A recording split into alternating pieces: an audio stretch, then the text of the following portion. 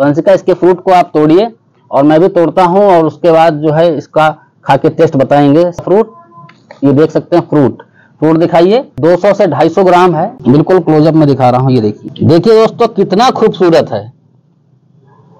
दोस्तों, आज के इस वीडियो में मैं माल्टा की जो सामने आप वैरायटी देख रहे हैं, इसके फ्रूट को हार्वेस्ट करके आप लोगों को दिखाऊँगा। कि इसका फ्रूट खट्टा होता है या मीठा होता है ताकि आप लोगों को सही जानकारी इस वैरायटी के बारे में मिल सके। मैं हूँ जयप्रकाश और आप लोग देख रहे हैं अपना प्यारा YouTube channel Jai home gardening दोस्तों, आज के इस वीडियो में मैं इस सिट्रस प्लांट के फ्रूट को हार्वेस्ट करके आप लोगों को दिखाऊँगा और इसके फ्रूट का टेस्ट भी बताऊँगा कि ये खाने में कैसा है ताकि आप लोगों को सही जानकारी इस वैरायटी के बारे में पता चल सके। चैनल पर जो लोग फ़र्स्ट टाइम विज़िट कर रहे हैं, चैनल को सब्सक्राइब कर लें, साथ में बेल आइकन को प्रेस कर लें ताकि गार्डनिंग संबंधी मैं जो भी वीडियो चैनल पर अपलोड करूँ, उसकी नोटिफिकेशन आपको टाइम टाइम से मिल सके। अगर इस वीडियो को आप लोग फेसबुक पेज पर देख रहे हैं तो फेसबुक पेज को भी फॉलो कर लें। चलिए बिना देरी करते हुए इस वीडियो करते हैं स्टार्ट दोस्तों, आप मेरे सामने जो प्लांट देख रहे हैं, ये माल्टा की वेरायटी है और बहुत अच्छी वैरायटी है। इसका मैंने प्लांटेशन करीब डेढ़ साल पहले किया था और ये प्लांट मेरे पास एक फुट का आया था। ये जो बगल में आप प्लांट देख रहे हैं और ये अभी नया प्लांटेशन है और इसमें देखिए, ये फ्रूट एक मैंने ले लिया था। देखने के लिए कि छोटे पौधे में फल पकड़ता है या नहीं पकड़ता है। और ये जो सामने आप प्लांट देख रहे हैं, इसकी थोड़ी मैं जर्नी बता दूँ। डेढ़ साल पहले करीब ये डेढ़ फुट का आया था और आप देख सकते हैं इसकी ग्रोथ और सबसे पहले आप दर्शकों को दिखा दीजिए कि ये देखिए 16 इंच के प्लास्टिक के पॉट में लगा हुआ है। और गमले में मिट्टी भी दिखा दीजिए कि मिट्टी कितनी है। आप पास में आके दिखा दीजिए। कि ये गमले में देखिए कितनी मिट्टी है और इसमें ज़्यादा मिट्टी मैंने नहीं भर रखी है फ़िलहाल और नॉर्मल मिट्टी है और इसमें वर्मी कंपोस्ट का मैंने प्रयोग किया है, नीम खली का प्रयोग किया है और बीच बीच में सरसों की खली का ड्राई पाउडर मैंने प्रयोग किया है। प्लांट की हाइट काफ़ी हो गई है। यानी आप समझ सकते हैं कि इतना बड़ा पौधा आया था और ये डेढ़ साल में काफ़ी बड़ा हो गया। इसमें पाँच से ज़्यादा फ्रूट लगे थे, लेकिन इसमें जो है सारे फ्रूट गिर गए और इसमें पाँच ही फ्रूट रुक पाए थे। और तीन फ्रूट जबकि इसमें हार्वेस्ट हो चुके हैं और इसमें दो फ्रूट ये देख सकते हैं आप, बचे हुए हैं। और साइज़ भी बहुत बढ़िया आ गया है। दोस्तों, अब मैं आपको बताता हूँ इसकी वैरायटी कौन सी है।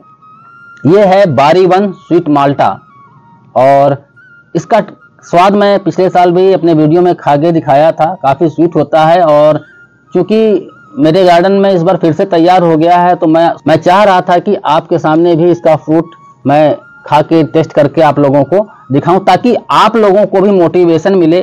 क्योंकि बहुत लोगों की शिकायत रहती है कि जो जो माल्टा या मौसमी की वैरायटी लोकल नर्सरी से लेके आते हैं या ऑनलाइन लेके आते हैं कभी कभी उसके फ्रूट का जो टेस्ट होता है, वो अच्छा नहीं होता, बहुत खट्टा होता है।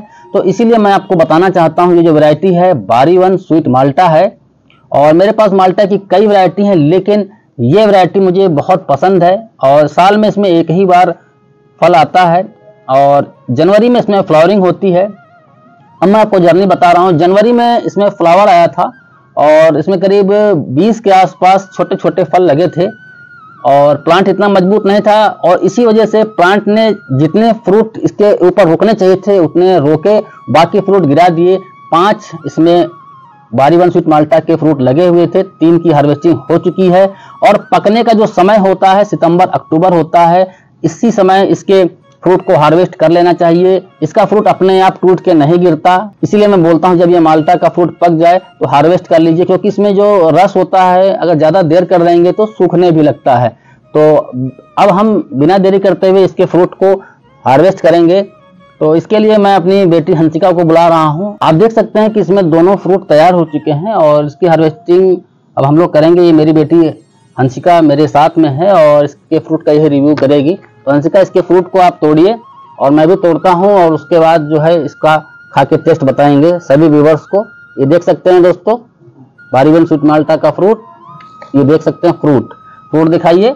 साइज़ जो है करीब इसका 200 से 250 ग्राम है। वो वाला जो फ्रूट है वो 250 ग्राम के आसपास है और ये 200 ग्राम के आसपास है।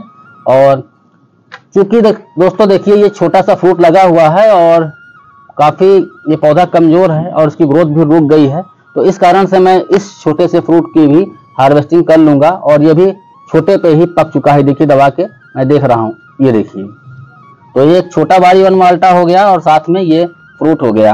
तो तीन फ्रूट हो गए और जब कभी भी आप किसी भी फ्रूट की हार्वेस्टिंग करें, मैं सभी देखने वालों को बोल रहा हूँ तो जो फ्रूट है वो अच्छी तरीके से धो लें, चाहे वो बाज़ार से आए हों और चाहे कहीं से भी आए हों।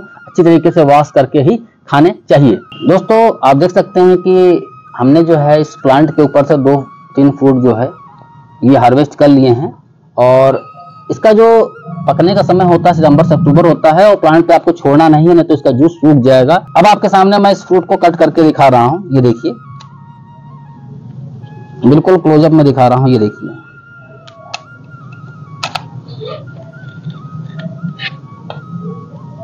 देखिए दोस्तों, कितना खूबसूरत है। ये देख सकते हैं, आपके मुँह में पानी आ जाएगा, इतना खूबसूरत है। और छिलका बहुत मोटा नहीं होता है, बारी वन स्वीट माल्टा का।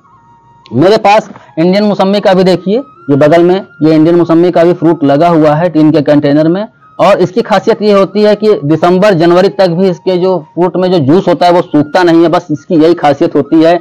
और इसकी ये खासियत होती है कि ये अपने टाइम से मेच्योर हो जाता है और उसको हार्वेस्ट करना पड़ता है।